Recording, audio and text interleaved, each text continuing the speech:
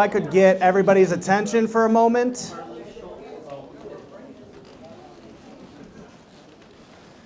Sorry to interrupt you guys. I know everybody's enjoying themselves here, but I just wanted to give a quick welcome and thank you to everybody for being here today.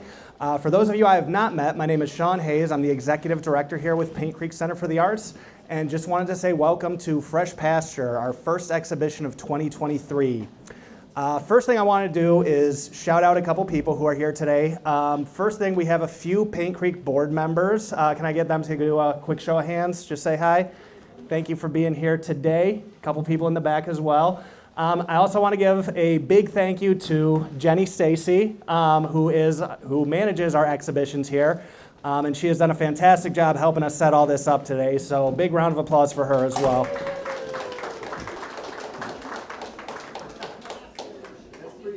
I also want to recognize uh, some of the companies who helped us out today. Uh, the first one, yes, very exciting, I know.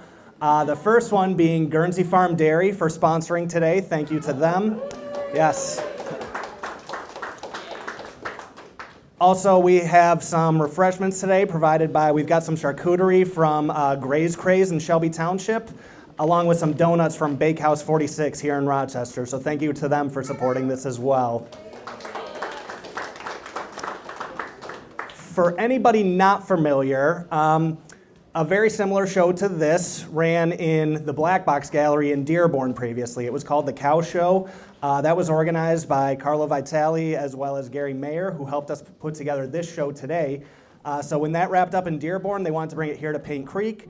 Uh, many of the pieces were featured here, but about half, we have about 40 pieces on display, and about half of them are new to this show exclusively, Fresh Pasture. So very happy to see we've got 35 artists on display very good variety of mediums. Um, so just we're very happy with this show. Um, this show will continue to run during business hours through March 4th. So if anybody else you know is interested, anybody else you want to come check out the show with, please feel free to stop by Paint Creek during business hours and give it a look.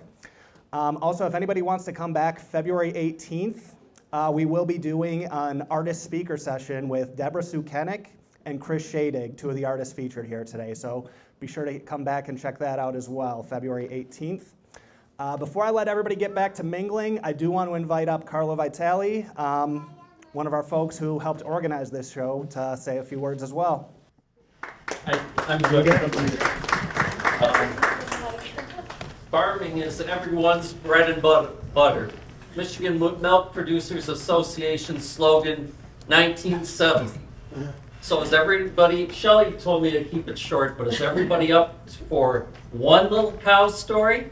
Yeah. All right, and then, then I'll just make a short synopsis of how this came about.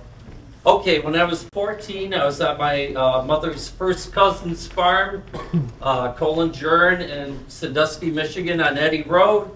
And uh, he was milking 36 cows in 1970. That was, that was a lot of cows and he used milkers, but still pouring the milk into pails that stood about this tall, and we carried it to the milk house.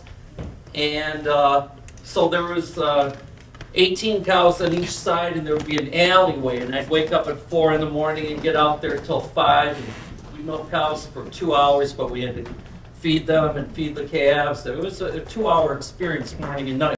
Well, my job, you know, when they one of my jobs they gave me when I was up there, I'd have to go through the alleyway between both sets of cows and give them chop, which was crushed corn from the field, and we put it in a scoop shovel, and and they were tied into their stanchions and locked in, and give each one, you know, some their chop, you know, the, the grain. And uh, this is how I learned that uh, animals have intelligence. Is that there was one cow, she had an attitude. She wasn't going to eat this chop. So every time I poured it in for her, for her, she would purposely put her head in the line of the travel, me pouring the chop in, and so she'd take the grain and shake it, and it would go everywhere. No matter how she fought me, no matter how I bent to it. So I said, 14 years old, I said, and I didn't tell my mom's cousin or, or my or his children, my cousins, what I was going to do. I said, this cow has an attitude. So I'm going to do something about it. She's going to eat this chop. Everybody's got, they all, they do it twice a day. So I was taking the scoop shovel and I was bumping into her head like, hey, like, uh, get it together, you know?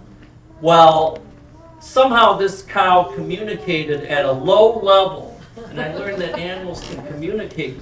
They had a, she had a plan with the cow next to her.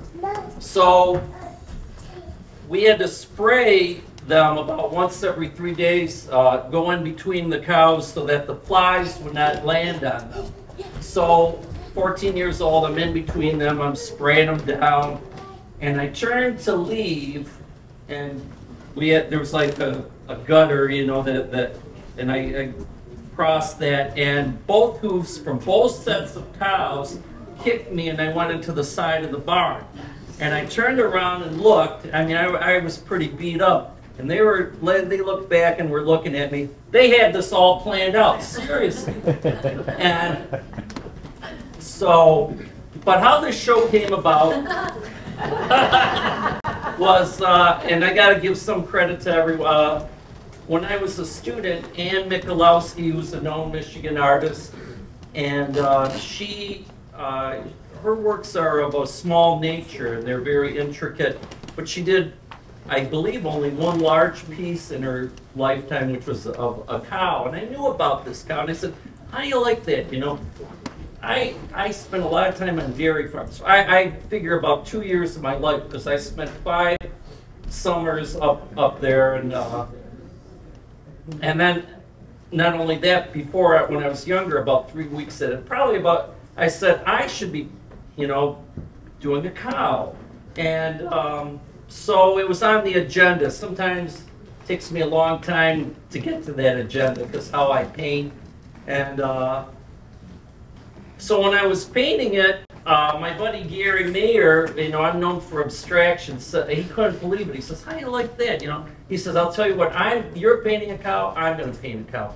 And so then he asked me to ask around to put together a show here, and the response was, uh, and so that's how it all came about. So.